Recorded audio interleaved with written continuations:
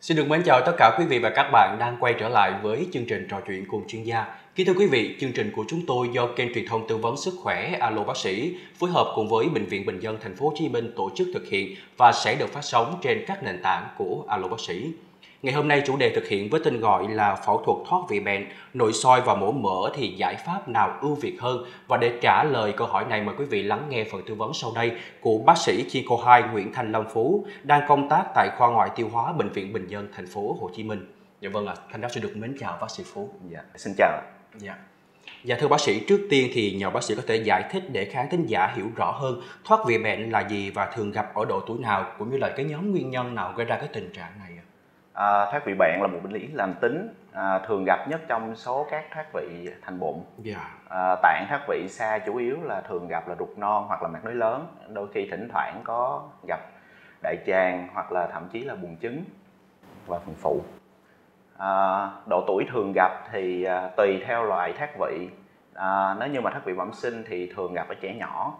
À, theo thống kê thì khoảng 30% trẻ nhỏ mới sinh có thoát vị bạn và phần lớn trong số đó thì sẽ tự ờ, hết trong 3 ờ, tới 6 tháng đầu sau khi sinh à, và nếu như mà thoát vị mắc phải thì thường gặp ở lứa tuổi trung niên yeah. Dạ. và người lớn tuổi và phần lớn là gặp ở nam giới nhiều hơn là nữ giới.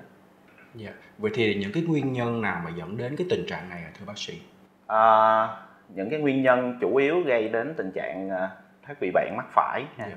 thì thường là do những cái những những, những bệnh lý gây tăng áp lực ổ bụng có thể là do bị bán bụng sơ gan hoặc là bệnh nhân ho kéo dài trong những bệnh cảnh à, bệnh phổi viêm tắc nghẽn mãn tính hoặc là những bệnh nhân cần phải à, gồng bụng gắng sức nhiều đặc biệt là những nam giới mà lao động và cần phải dùng lực của bụng nhiều yeah. Dạ. à, như là nghề bốc vác hoặc là những những nam thanh niên mà tập à, thể hình mà cần phải dùng lực của bụng quá nhiều thì cũng có thể gây nên bệnh lý thoát vị bệnh Dạ, vậy thì thoát vị bệnh thường xảy ra ở vị trí nào và có trường hợp nào thì ghi nhận thoát vị bệnh xảy ra ở nhiều vị trí trên cùng một người hay không? Và việc phát hiện ở các vị trí khác nhau có làm thay đổi cái chiến lược điều trị ban đầu hay không ạ thưa bác sĩ? Thì ngay cả cái tên của nó đã đã nói lên thì cái vị trí của thoát vị thường gặp nhất là ở vùng bạn yeah. và vùng bạn biều, có thể một bên hoặc là hai bên.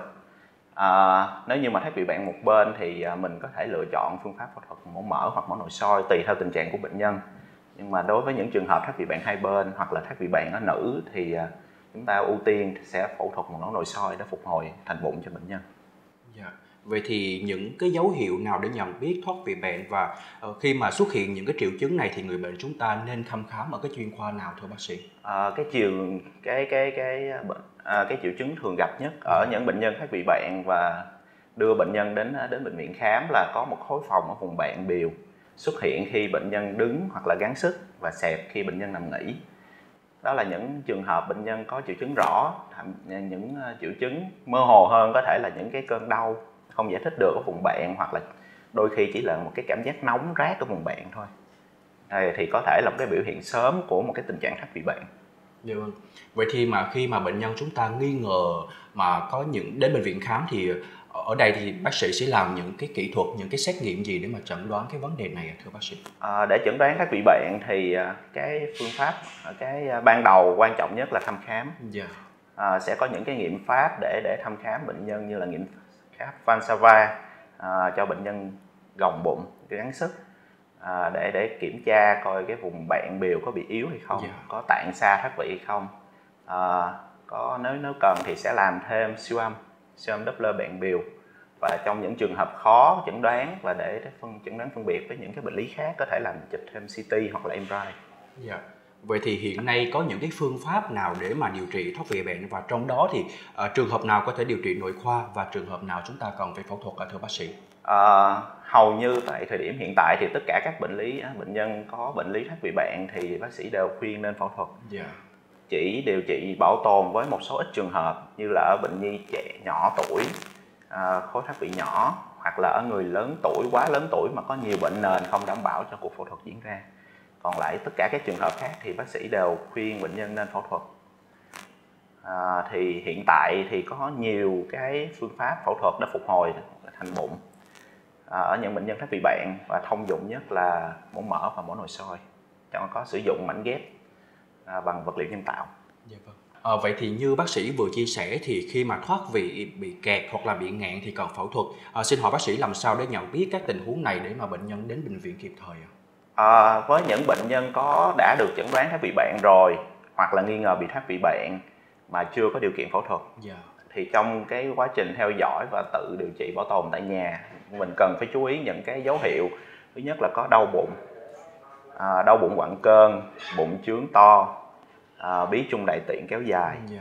hoặc là đau ngay tại vị trí khối khối phòng bạn biểu à, hoặc là khối phòng bạn biểu sưng to và không đẩy lên được thì mình đều cần phải đến khám và điều trị tại các cơ sở y tế gần nhất để Dạ tránh trường hợp thoát vị nghẹt Dạ vâng thưa bác sĩ, giữa cái vấn đề mổ mỡ và mổ nội soi thì người bệnh nên lựa chọn cái giải pháp nào?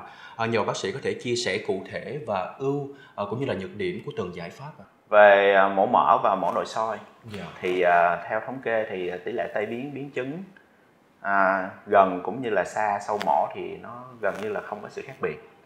Cái ưu thế của mổ nội soi là bệnh thứ nhất là bệnh nhân à, cái sẹo mổ nó nhỏ mang tính thẩm mỹ à, bệnh nhân sẽ ít đau và nhanh hồi phục hơn sau mổ à, và một cái ưu thế nữa của mổ nội soi là đặc biệt với những trường hợp thoát vị bạn hai bên hoặc là thoát vị bạn ở nữ thì mình có thể khảo sát được cả vùng bạn hai bên trong một lần mổ à, và những cái sang thương khác ngoài thoát vị bạn biểu tại vì ở nữ thì có thể đôi khi nó sẽ kèm theo những cái thoát vị khác nữa Dạ. như là thoát vị đùi hoặc là thoát vị bịch Và, à, và thực tế tại bệnh viện của chúng ta thì cái quy trình phẫu thuật nội soi thoát vị bệnh thì diễn tiến như, diễn ra như thế nào thưa bác sĩ và trước khi phẫu thuật nội soi thì người bệnh chúng ta phải cần chuẩn bị những cái vấn đề như thế nào ạ? À, quy trình chuẩn bị phẫu thuật với một bệnh nhân thoát vị bạn nói chung và thoát bạn nội, nội soi nói riêng thì cũng tương đối đơn giản. Dạ.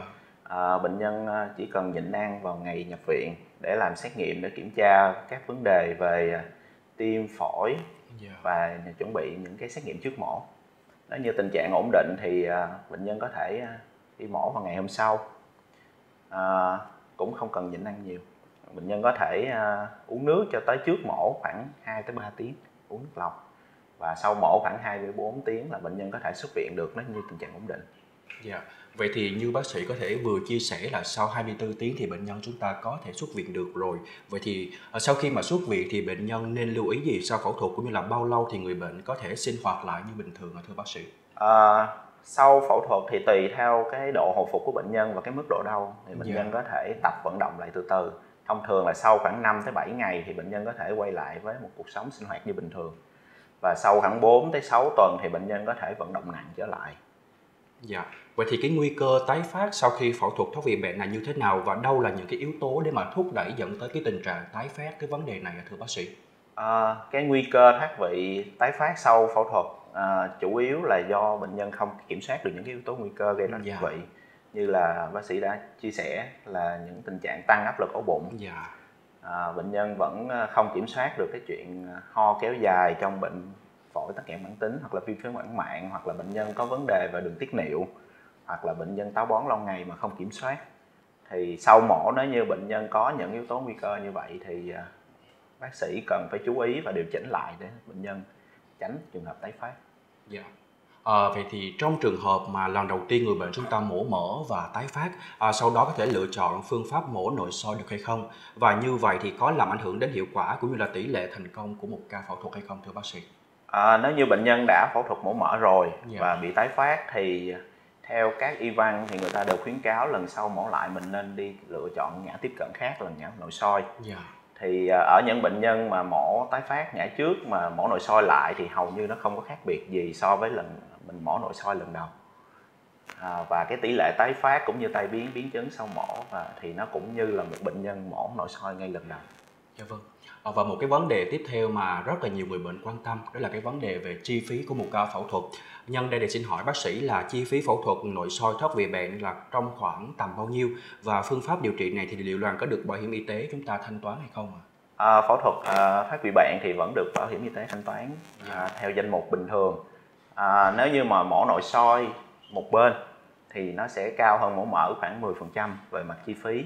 Nhưng mà nếu mổ hai bên thì chi phí hai phẫu thuật nội soi và phẫu thuật mở thì ngang nhau. Dạ vâng. À, và cuối chương trình thì xin phép nhờ bác sĩ có thể gửi một vài lời khuyên đến tất cả quý vị khán giả trong cái vấn đề chúng ta phòng ngừa căn bệnh này cũng như là tránh cái nguy cơ tái phát lần sau ạ thưa bác sĩ. À, thì chủ yếu là mình có mình biết những yếu tố nguy cơ có thể gây ra thoát vị. Yeah. Dạ. À, bệnh nhân bệnh nhân táo bón mạng tính lâu kéo dài, những bệnh nhân à, đặc biệt có nam giới bị phì đại tiền liệt tuyến và rối loạn đường tiết niệu, hoặc là những bệnh nhân à, hút thuốc lá nhiều kéo dài bị à, bệnh phổi tắc nghẽn mãn tính thì mình nên kiểm soát bệnh nền bỏ hút thuốc lá à, ăn rau củ chất xơ để cải thiện cái tình trạng táo bón và điều trị cái tiền liệt tuyến để không phải bí tiểu. Dạ vâng. À, Thanh Đáo xin thay mặt cho tất cả quý vị khán giả cũng như là những người thực hiện chương trình xin gửi lời cảm ơn đến bác sĩ Lâm Phú. Cảm ơn bác sĩ ngày hôm nay đã nhận lời tham gia chương trình để đem lại những thông tin rất hữu ích từ đầu chương trình tới giờ cho tất cả quý vị khán giả. Mến chúc bác sĩ thật nhiều sức khỏe. Dạ. Cảm ơn chương trình. Kính thưa quý vị và thông tin này cũng đã khép lại chương trình ngày hôm nay. Một lần nữa cảm ơn tất cả quý vị và các bạn đã quan tâm theo dõi. Xin chào và hẹn gặp lại ở những số phát sóng tiếp theo. Hãy đăng ký kênh Alo Bác sĩ Video để nhận thêm nhiều thông tin mới nhất về y tế sức khỏe.